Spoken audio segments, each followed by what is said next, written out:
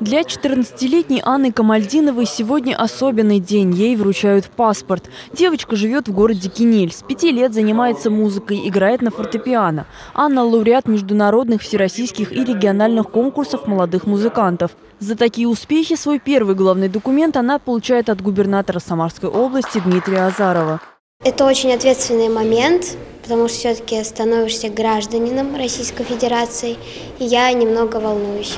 В День Конституции паспорта получили 16 школьников. Среди них победители Олимпиад, волонтеры, спортсмены и призеры различных конкурсов.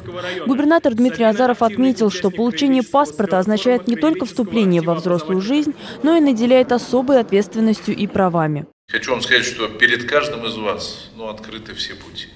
Сегодня э, в Российской Федерации действительно возможность реализовать себя есть у каждого гражданина страны.